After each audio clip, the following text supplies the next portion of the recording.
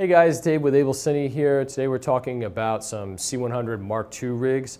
Um, we've done some blogs on general rigging and kind of what we see in the field working, what we see people using. Today, really want to talk about what I personally like. This is definitely not supposed to be the you know end all and the be all for every shooter. You know, this is just happens to be what I like. It's not the perfect rig for everybody.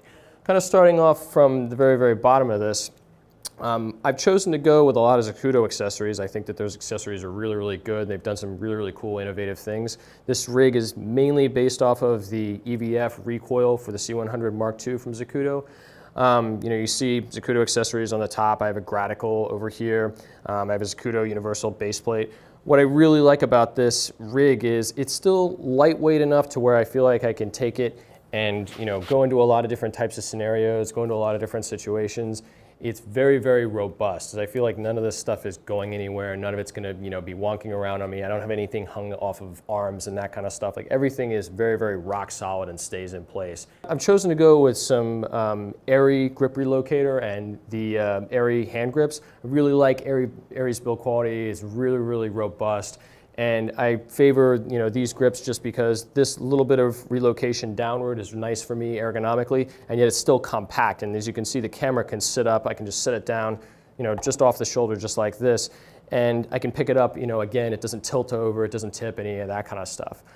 Um, kind of going from there, I have Zacuto universal base plate for um, the camera. I really, really like the ENG style base plate for the camera because I can go on and off of a VCT plate. It's very, very robust. It allows me to slide the camera back and position it where I want to. So it's just a really, really good piece of kit. Um, on the top of the rig, you'll see that I have the Gratical from Zacuto and I have um, an Axis 1 from Zacuto, or an Axis Mini rather from Zacuto that um, allows me to you know, position it where I need to, to be able to slide it back and forth, all that kind of stuff. And I really think that the Gratical is one of the best on the market because it's just really, really robustly built, has a great image quality. It has a lot of amazing, amazing tools in it, you know, like waveform and focus peaking and ability to do LUTs and all this kind of stuff available to it. If any of you guys have used, you know, an uh, ENG camera, you'll kind of see, I, I, think, the, the beauty of that and the robustness of it and how, you know, just, just rock solid it is to have a viewfinder, you know, at your eye when you're shooting.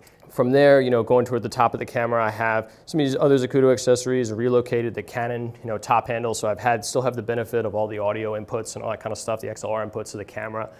Um, I have a Sennheiser G3 um, on the very, very top of this. You see them everywhere. They're great pieces of kit for, you know, for audio. They're really professional level. And I have a Sennheiser ME64 microphone as an on-camera mic. I really love the ME64 from Sennheiser because it's a really professional level microphone. It's a cardioid mic, so it does a pretty tight pickup pattern, but it's still wide enough to where I could shoot a two shot of two different people and I can still pick up both voices at the same time. And it's also a really sensitive microphone and has just very, very clean audio coming out of it. And from a camera operator perspective, I love it just because it's so compact. You can see I'm not putting you know some gigantic microphone on the camera. And you know some people would maybe choose to go with a, a follow focus. I like to focus manually. I just kind of come from that world of like you know ENG cameras. So I've kind of foregone that just for weight reasons and for trying to keep the rig as small as possible. A couple of other kind of little touches on the rig. I have this ultra ultra thin HDMI cable. There's a bunch of different people that make these these days, and we we sells them as well. Um, they're really, really great because the cables, in my opinion, should not be a feature of the rig. They should just disappear. And these, you can see, just really drapes over everything.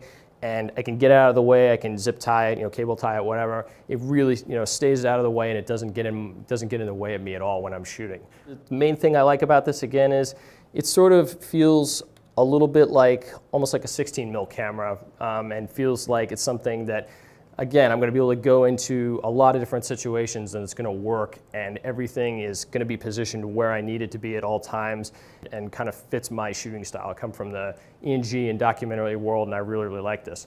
Having said all that, it is not necessarily the perfect rig for everybody. It just happens to be what really suits me. Um, thank you guys so much for watching and we really, really appreciate it. Um, we'll see you next time.